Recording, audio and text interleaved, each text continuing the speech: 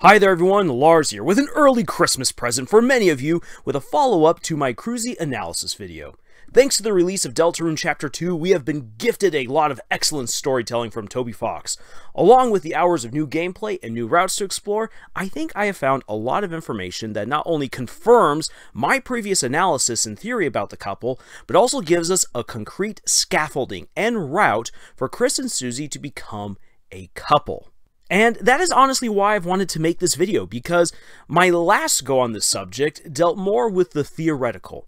But now, Chapter 2 graduates the TFS Krusie from just lovely fan art and shippers swooning to a viable and justifiable outcome by the end of the game.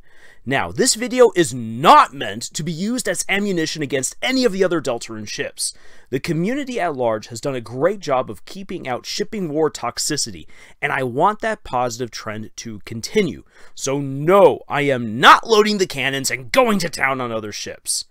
And let's face it, Susie is quickly accruing an entire harem, so I think that really all ships at this moment are right now covered. No, instead with this video, I want to accurately lay out the entire romantic progression of Kris and Susie's relationship. Furthermore, I want to highlight what future paths and avenues Toby Fox has already established for later chapters. I also want to discuss what their relationship means for the overall themes within Deltarune and even the world building. Finally, I will explain what we novice writers can take away from this Krusie experience in order to better own our craft and write excellent stories. All right, so let's start with the story of Kris and Susie's growing romance. And now I'm going to say this I'm going to go into a lot of detail right here.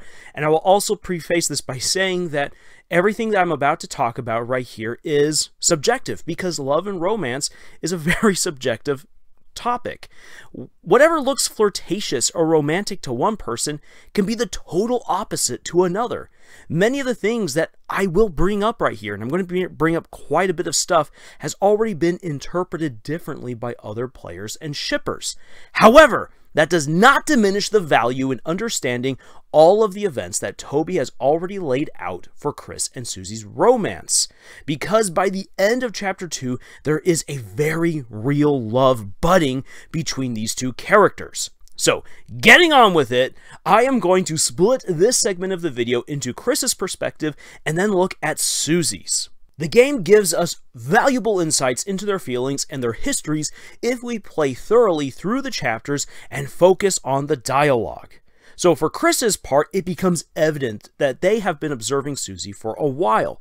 I noticed this during the fight against her and Lancer, when the player chooses to do, well, anything to try to win Susie over, and Kris then takes control and compliments Susie's hair, which catches her off guard. They then offer her a basket of worms if she'll just calm down. And now the worms are really funny and all, but as we learn, Susie is willing to eat just about anything because she's always hungry. And Kris has probably seen her then digging for worms somewhere around town, and as a result has thought, that's what I'm going to offer her because Susie likes worms. And when we look at it, Susie definitely responds positively at first to these worms until she realizes, hey, you don't have a bucket. And this is something that I feel is very important for me to get across right off the bat. Even though we don't fully know what's going on in Kris's head, it's again evident that Kris has been keeping an eye on Susie. Probably because they already have had a one sided crush on her for a while, or are very curious about her. Very similar to the way that Noelle has acted towards Susie now for a little while curiosity and a crush. And that then begins to put a different spin on what we see at the beginning of Deltarune Chapter 1 when Kris is told to go with Susie to the supply closet to go and get chalk. Kris can talk to all of the different people around the classroom, and a lot of the dialogue paints as, oh, Kris, you are in trouble, which when Kris leaves the classroom, Kris is immediately in trouble, and there's the likeliness that they might get their face chomped off. But we can begin to read these dialogue moments a little bit differently that maybe Kris is again acting like Noelle and is looking for information to better understand what they're getting themselves into. Well, everyone's giving them very negative information, so when they come on out and Susie comes at them, it's very obvious that Kris is scared. Their relationship starts off very antagonistically. But then again, that's the point. That's the beauty of their relationship. Because at the heart of Deltarune is this theme of becoming friends with everyone. So as a result, Chapter 1 largely focuses on how Kris and Susie build a friendship first and foremost. Their friendship is forged in the heat of battle, found along the roads of far-flung lands, and solidified with honest conversations between the two of them. Yes, we never see Kris speak directly of their own volition, but it is clear that Kris and Susie do have communications as the game goes on. Kris teaches Susie how to act. They try to flirt with her. They also help her to flirt on her own. They try to help her to express herself in a good, positive way. This then all culminates in the battle against King. When King deceives Ralsei, Kris then has to break the player's control and steps in to save Susie from getting hit. And Susie, in return, strikes King, saving Kris from his evil clutches. If you play the pacifist route, Kris enjoys then a celebration with Susie before going back to the world of the Lightners. There, Susie reaches out to Kris in a way that is not only genuine, but filled with tons of heart, as she asks Kris if they can go back to the Dark World the next day. This is Susie finally letting down all of those barriers, and there she is, expressing herself genuinely. And that facial expression is very, very important for later on in the game. Now, after this moment, Kris goes around town and speaks with a lot of people, and many of them comment on how Kris isn't acting like themselves, which is very important for later, um, and that will be in a separate video eventually. But just as importantly as all of these observations are, there's a lot of the people who are commenting about how shocked they are that Kris is still alive. And on top of that, they're a little bit confused that Kris is defensive of Susie. Kris doesn't like it when Monster Kid talks down to her, and Kris can even give a very positive report to Noelle about who Susie is as a person. Now, at the end of chapter one, it mostly then looks like Kris has just made a really great friend. And as a result, a lot of the shipping after the release of Chapter 1 came about mostly because of what the heart wants and all of the fantastic fan art that was done of these two characters. But Chapter 2 already puts a lot of this into a different perspective. Namely, that Kris was so excited in the last chapter about becoming friends with Susie because they're harboring a crush on her. And the question then becomes what evidence does chapter 2 have to prove this? Well, for one thing, already at the beginning of the chapter and even throughout the game, Kris actively works to keep Susie close and even away from Noelle. The excuses for why Kris and Susie are alone are meant to exclude Noelle, and even at the end of the game, they can try to block Noelle from being with Susie at the carnival. And Kris is incredibly incredulous that Susie would go with Noelle to the fair. Again, we are subtly clued in as to how observant Kris is, that Kris is very clearly aware that Noelle has a massive crush on the same girl that they have a crush on. But we really get some interesting things going when the gang is in Queen's domain. Again, depending on how you play, Kris can give Susie a chance to show off her meager healing magic, which really means a lot to Susie. And Kris can also give Susie a present at the fair. Interesting. Pay attention to that because if you have given Susie the gift, I am pretty certain that that's going to come up again, especially because Susie gets so excited to receive this gift. She gets flustered and then she vows to not be outdone. And she would have given Kris a present if it had not been for discovering Noelle hiding in the stand. So, this is something that, depending on how you play the game, I expect to see this moment come back later on. And then when you go and you buy the, the tea and you drink it, Kris is notably into drinking Susie's tea. Ralsei calls this out, that, they're, that they seem to be really into it, and Susie again gets flustered and asks Kris to stop staring at her as they are drinking her tea. Now then, again, these observations can be easily overshadowed by Noelle, who has her very obvious crush on Susie, and a lot of people focused on what can be done with her tea, and then also a lot of people have been focusing in on how Kris reacts to Ralsei's tea. Again, with Ralsei, I'm going to get to everything that's going on with him in a later video. I'm just right now focusing on the good little couple right here. But suffice it to say, the tea is a very important moment for those who are looking out for connections with Krusie. Also, we should make note of when you find the next egg room after confronting the invincible Toby Fox himself, Kris and Susie share moss, which Susie happily accepts and replies, Guess even you have your good moments. This little bit of dialogue is a crucial clue for later on, when especially when I get to Susie's perspective on all of this. And very notably, Kris wants to be comforted by Susie more than Ralsei after the fight with Neo Spamton. While I covered why Kris might be standoffish to Ralsei in a previous video, it is very interesting to see how Kris, independent of the player, is showing their interest in Susie, that they want to be comforted by Susie, that Kris is looking for ways to be with Susie independent of what the player wants. It's almost as if Kris is struggling against our control to make their feelings known. And you can easily play the game as the two of them just being best friends, and that's totally fine. But these little details hint repeatedly at Kris having much deeper feelings for Susie. So, now that I've talked at length about how Kris feels about Susie, well, what's her side of the story? Well, to start at the beginning, Susie has been the misunderstood outcast who's turned bully. This is in large part because of how others have been scared of her and mistreated her that she became this kind of character. And true, she is rude and brash, but Susie's core personality is not one that is mean, petty, vindictive, or even violent if we get down to it. And that's because Susie wants friends. And this is something that the Dark World helps her out with. Though Kris and Ralsei want to be friends with her, Susie's first friend is Lancer. He is her Darkner. Her time with him and dealing with getting imprisoned and choosing to spare him, Susie is finally able to face her own insecurities and learn what it means to be a friend.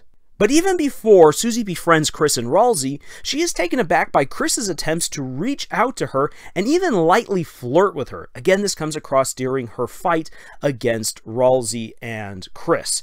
She's caught off guard and she has no idea how to react when they flirt with her or when Kris offers worms. She's also very, very bad at flirting herself, which is something that we should take into account for later on. However, what is most important for Susie in Chapter 1 is that she forges a very strong friendship with Kris. Their adventures together are their secret. She initially doesn't want to share these experiences with others, possibly out of fear of losing Kris to other people. And she is terrified that the whole experience might have been a dream, and that that might mean that she and Kris were never friends to begin with. And she even asks Kris this if they will still be friends if the dark world isn't real, but she gets too scared to completely follow through with that question and one and voicing her concern. So it's really great to see that their relationship just continues to progress beyond that point because that's something that is so important to Susie. And it's also sweet to see how excited she gets to just be the hero again after being the bad guy in so many people's eyes for so long she she's happy for this change in her life. She wants to make more friends. She wants to save people. She wants to adventure with Kris and Ralsei. She wants to escape whatever her life is really like back in the Lightner world. Kris is her greatest connection to this better life she's found. Their friendship is firmly established.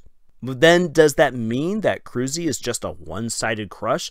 That Susie's just all in for the friendship aspect? Nope. The answer is definitely no. And to explain where I go from here, I need to explain something important about Susie. She is definitely a tsundere character. But not just the type of character who is super mean to the protagonist and then swoons after them when she thinks that no one is noticing or anything weird like that that's kind of come to be accepted with most tsundere characters. A tsundere character is someone who is openly cranky and abrasive, but they have romantic feelings beneath that veneer. Their character arc, if done well, is learning how to drop their guard and express their feelings in a way that will be reciprocated. So let's bear that in mind as we progress with Susie's side of the story. Now again, we begin to get a better idea of the history between Kris and Susie when they return to the Dark World when we pay attention to the dialogue. So for instance, when Kris has to spell out the password apple, Susie remarks that Kris has always smelled deliciously of apples and that she's kind of wanted to take a bite out of them. It's silly and it's all in good fun, though Kris does tease Susie for possibly drinking their apple scented shampoo later on the game, and Susie even gets excited about the thought.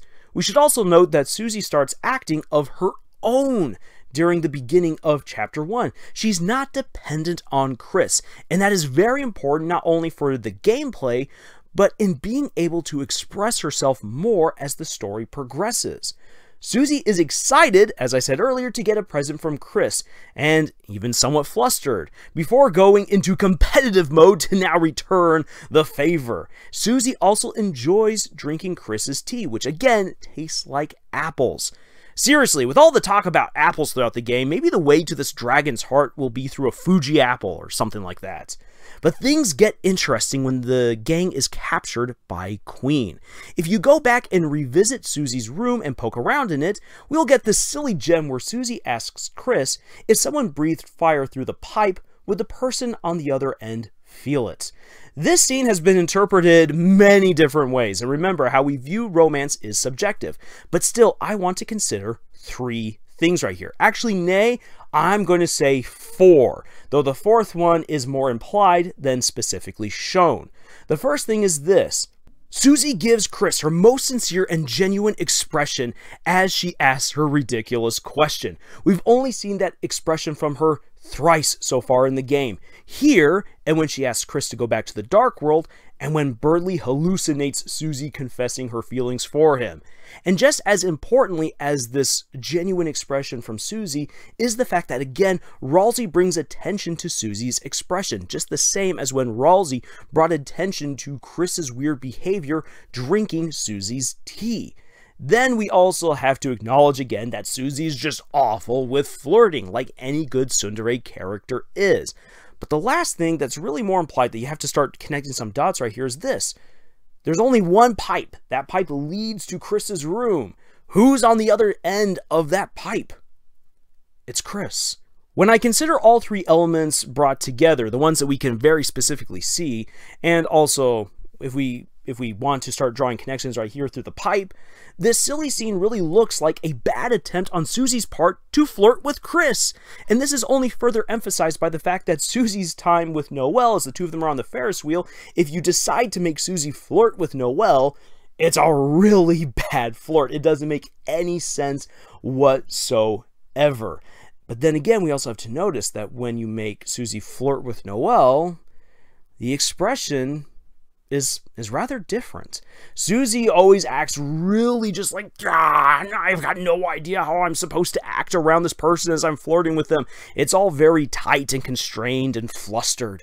But like a real tsundere character, who then lets down their defenses for the person that they like, Susie showed that genuine expression to Kris for the first time when she actually tries to flirt with Kris. And so I then pair this particular situation right here, where we see her be genuine as she flirts really badly with Kris, to when she is sharing Moss with Kris and says, I guess even you have your moments. That line is classic tsundere speech. This silly compliment, the awkward flirt, and the apples, it all hints that Susie's developing a crush on Kris. Now, after defeating Queen, Susie and Kris go around hometown, and seeing these two hang out away from the dark world is just so healing to my torn and tattered soul. It also says a lot about how Susie's willing to hang out in the creepy graveyard with Kris. She stands up for Kris when they are indirectly teased by Monster Kid and Snowy, which is absolutely delightful. It's cool to see that she unknowingly reciprocates Kris's feelings about others misunderstanding them or even teasing them and she waits for Kris even when she doesn't want to be around certain places like QC's Diner or the police station. And it shows that, yeah, she honestly cares. She's not just going to ditch them. And of course, you can uh, see how she's patient when Kris goes to speak with Onion. And it's also just wonderful to watch them both get sick when Kris uh, shares the chocolates from Undyne with her. It's just, ah, I love it. And I love when Susie witnesses the very, very awkward public confrontation between Asgore and Toriel. The reason why I like this is because Susie doesn't pester Kris about it. Her response and expression might suggest that she understands what it means to be in a broken family. And this then makes her reaction to Toriel very interesting, and I think that is something to watch out for in the future. And of course, we cannot forget visiting Rudy in the hospital. Rudy is a real gem, and I love how he can just read the room and the moment. He acts all tough to Susie, but really, he's just a softy. And I think he's onto something when he tells Kris to take Susie to the movies. Of course, Susie really wants to go, so perhaps Rudy sees something that many of us don't. We'll just have to see. But the moment where the two friends are just sitting out by the lakeside, saying nothing, is pure beauty. It's hard to say what's going through Kris's head at the moment, but Susie is clearly enjoying herself. They say a picture is worth a thousand words, and the picture right here is a thousand words that don't need to be said between these two. This is a powerful moment that quietly solidifies their friendship and closeness. Finally, it's great to see Susie and Kris together at the Dreemurr house. Toriel and Susie quickly take a liking to each other, and when Kris and Susie are finally alone on the couch, there's the chance to talk about the upcoming carnival. Should the player have Kris choose Susie to go to the fair with, her reaction is very telling. She immediately acts like a typical tsundere in yelling at Kris that they're avoiding the question altogether. But then she says that, of course, Kris would be there too with her getting a little bit flustered and all this. And then, of course, she changes the subject completely. Classic tsundere.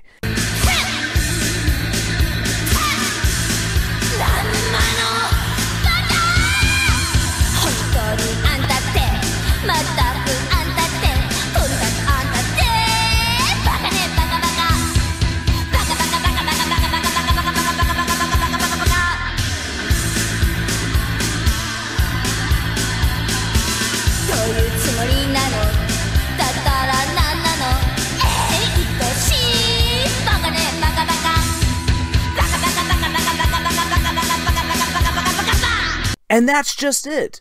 You see, Susie started out as a cold, dangerous, uncaring character who, as she started opening up, has had a very hard time expressing herself. However, as we learn, Susie really wants friends. She wants that love in her life. And it might even be possible that she's developing some romantic feelings for Kris, and that again, she isn't sure how to express them. So when we consider the Moss scene, the dialogue in her prison room, her inability to flirt, Susie's time around hometown with Kris, and finally that little bit on the couch with them talking about the fair, what I see is a fantastic start to a romance with Kris, as per the expectations of what we know a tsundere character to be. Okay, I know I've already covered a lot here in this video, and what I hope is that this shows that there is already very solid in-story evidence for Krusie to happen. We're seeing everything unfold just as I previously said it would, that Toby has built a scaffolding for their relationship to progress. Chapter 2 proves that.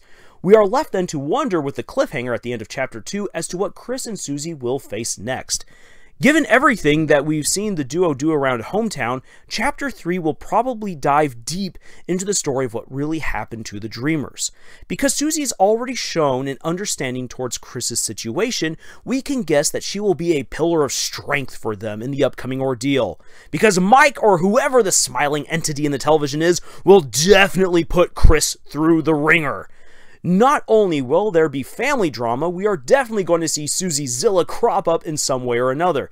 And then because the Drawing Dragons book has been referred to twice so far in these chapters, we and we are now in the house, that's also going to be addressed. I guarantee it will be. As a result, we have two fantastic moments for these two to open up about something that is going to be absolutely and hilariously embarrassing for both of them. There's also the fair to be considered, and the player's choice will definitely have a ripple effect for how that is going to play out. Kris and Susie have plenty of opportunities to grow even closer moving forward in the game from chapter to chapter.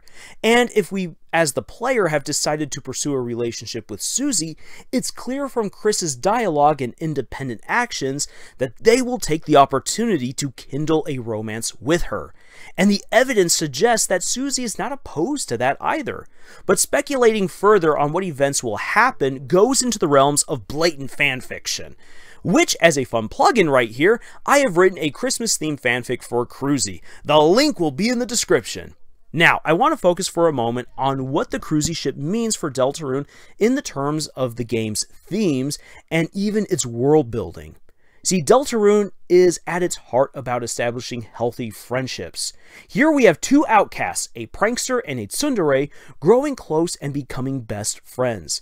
This friendship has inspired Susie, and as arguably the lead protagonist, she is confronting now her own fears and prejudices, and she has already begun friendships with Noelle and Berdly. She became friends with Ralsei and Lancer, and has spared many of the Darkners, developing many more wonderful relationships. And Chapter 2 hints that the next big friendships, in the classroom at least, will be between her, Jockington, and Catty. Whether as friends or as a couple, Kris and Susie's relationship is the catalyst for all this positive change. Furthermore, Deltarune is a game about choices. We are told at the beginning that our choices don't matter, and this is largely because the ending of each chapter is predetermined. We cannot stop Kris from opening up the Dark Fountain. We cannot stop the struggle between them, the player, and whatever other entities are at play in the game. And the night continues to stalk both worlds, ripping open new fountains. Angel's Heaven is coming no matter what we do. And yet, our choices already have ripple effects throughout the game. If we let Kris and Susie's relationship play out for maximum positive effect, we can build a wonderful town and save many Darkners. Or we can empty the Dark World of its inhabitants if we abuse that relationship to engage in wanton violence. Our choices definitely do matter, but so too do the independent choices of Kris and Susie. One of the most significant moments of independent action is when Kris steps in to save Susie. It proved their friendship towards Susie, and she stepped in then to save them in return. We have no control over any of those actions. And then Susie learns how to act on her own. This is very significant because it empowers the entire team to do far more to defeat enemies and save the day. The game mechanics, the very rules of this world, are then expanded to the hero's benefit. And it's important that Susie acts independent of Kris. Why? Because it proves that she has her own feelings and willpower, which does play into her own thoughts and desires and how they are voiced throughout the game. But I also see it as something that inspires Kris. In Chapter 2, Kris makes a conscious effort to help Spamton and gain their freedom from us, the players. And it's not us, the players, who even desire this. We can empower Kris to go through the motions, but it is Kris alone who takes on that quest. It is Kris who leaves the party. Kris wants to be free, and I believe that this is not only inspired by Spamton's crass deals, but because they witnessed Susie using her own willpower to break the rules of how Chapter 1 worked. If she can do it, they can do it too. Becoming friends with Susie is putting Kris on a path to save themselves. And so then when Susie tells Kris at the end of Chapter 2 that they can move on their own, that simple line hits like a freight train. Choices do matter. And Krusie perfectly illustrates this. Alright, with all that said, hopefully you Krusie fans feel far more vindicated and assured of your ship. If you are opposed to the Krusie ship, well, that's perfectly fine.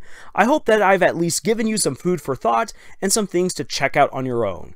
But now is where I am going to get into the weeds about what we novice writers can learn from all of this. The first big lesson is this sculpt your couples. Don't just ship them. This comes back to one of my earliest videos on this channel. If you want to build your romances over the course of your stories, you've got to do it incrementally. Simply shipping two characters or more, depending on the ship, usually lends itself to hastily slamming the two characters together. And even if the scenes are very well written, it will be hasty and lack a lot of the fun build-up and sweet payoff that comes with carefully and laboriously crafting the romance moment by moment. Toby Fox has laid out all of these moments across chapters 1 and 2 for us to see what relationship is forming between Kris and Susie. And where Susie and Noelle's interactions have been largely characterized by Noelle's massive crush, Kris and Susie's relationship has integrated many more moments that have nothing to do with romance. Things like friendship, sparing enemies, solving puzzles, adventuring, family issues, eating things they probably shouldn't, and the list goes on. All of these moments solidify their friendship and build a powerful understanding between them that creates a solid foundation for their romance. In my previous Krusie video, I said that I wanted two misunderstood characters to share a healthy romance. Many times, angsty outcast characters are just slapped together because they understand each other, whatever that means. Well, in the real world, especially for teenagers, that rarely that rarely works out for the best. Believe me, I've watched many of my students go through nasty breakups in the past, and I've heard the sob stories. Here in Deltarune, Kris and Susie are building a strong foundation of understanding one another through their conversations and their shared experiences, the ones that they actually have together. But not only that, they're both growing independent of each other and inspiring and protecting the other as well. That is very important because when writing a healthy romance, the characters must have autonomy and personality beyond their interactions with the person they love. And those moments of independence from their significant other should be engaging and endearing. If a character is an absolute jerk to others but then warms up around the person they love, yeah, that's bad and that is not good for writing a healthy romance. This is how you craft a true understanding between two outcast characters, and Toby Fox is doing it brilliantly. Finally, always be thinking about how the relationship can be tested and strengthened. Some of the best romances I've ever seen are the ones that grow through mutual respect, through talking things out, and by working together to survive whatever comes next. Kris and Susie have a lot of adventures ahead of them, and they'll tackle them together. Even when the ship has sailed, if you stop progressing the couple, well, then it just grows stagnant. The, the relationship then ceases to really have meaning. Now, that doesn't mean you should crank it up to 11 and have them suddenly get pregnant or something dumb like that. That's usually a trope or ploy of novice writers because it's very easy then to say that, hey, look, the relationship is even more serious than it was before. Here's a baby. But you don't have to go that far. You can use just a simple conversation where they have a difference of opinions to show that there's still room for them to work things out.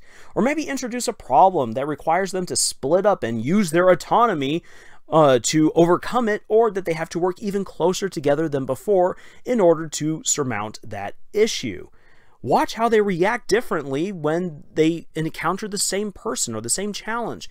These little details, these smaller things, can help keep a relationship alive, vibrant, and fresh. You don't always have to hurl just the biggest thing at them and see how they react to that because, well, that's not really how romance works. Alright, I think I've said plenty by now. Krusie is an adorable ship and I love it. I still think it is one of the smartest crafted romances put right under our noses in any game I've played, and it continues to grow in my estimation the more I look into it. I hope that writers out there can take away some great lessons from this, and that fans of the ship will be heartened by what I have shared. If you'd like more writing advice, please check out our other YouTube videos and also our podcast, Camille's Harem, found on Podbean, iTunes, Google Play, Spotify, the works. We also have writing exercises for you to check out on our Pinterest page, writing discussions at our subreddit and Discord, and more. We invite you to become part of our growing community, and I personally invite you to check out my Krusie fanfic during this holiday season. And if you enjoy it, then please go check out my other books. They are a blast, and I hope that you will read them and enjoy them. Links for all of that is down in the description. And until the next video, y'all, keep shipping Krusie, happy holidays, and choose.